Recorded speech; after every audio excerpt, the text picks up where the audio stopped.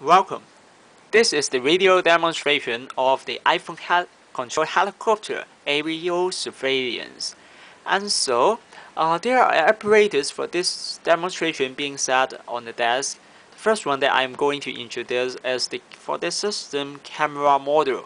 And this is the battery. And this is the antenna of the WIZnet WIZ610wi and this is the Wi-Fi module and this is the board that I made to interface with the Arduino and also the Wi-Fi uh, Wi-Fi module and also the camera module.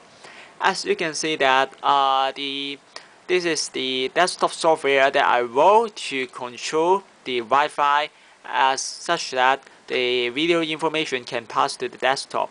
First, uh, it is necessary to uh, confirm whether the uh, Wi-Fi connection is connected or not.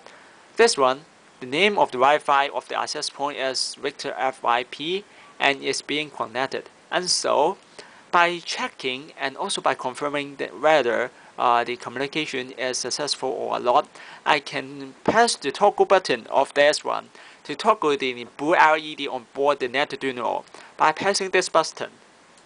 As you can see that uh, the blue LED is being lightened up and by pressing the button again, you can see that is being switched off, and this command is being sent by the Wi-Fi wirelessly to the Arduino.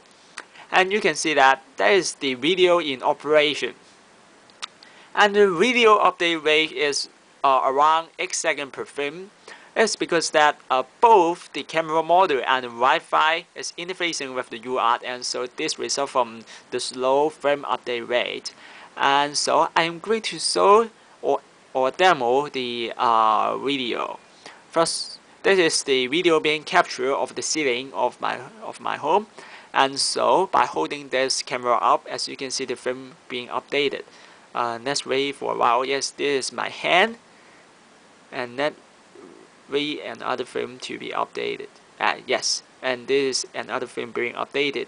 And so let's see first several other frames. This is another one.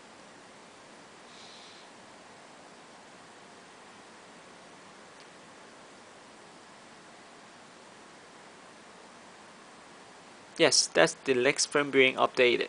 And so I paste the camera model here to wait for another another frame being updated. And on on the left on the right hand side of this is the information of the log data. There's the uh, image size of each image. So you can see the next uh, next image being updated. And so I hope doing so uh, you, you can have a better understanding of my demonstration. Um, by pressing this button and so wait for a while, uh, we can switch off the camera module by pressing this and then wait for another film being updated and then yes and then the camera module will be in off mode and so uh, by pressing this button to confirm that uh, the Wi-Fi is in operation and I hope I do uh, the necessary thing to show my demonstration and that's the end of uh, the demonstration of aerial surveillance. Thank you.